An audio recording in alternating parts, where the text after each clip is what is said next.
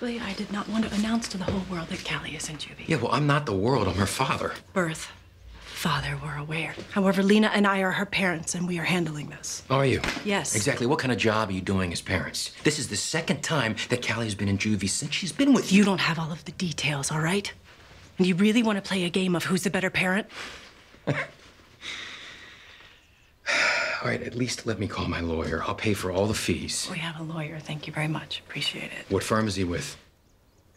She is a public defender. You're not serious. Yes, I trust her. I've known her for years.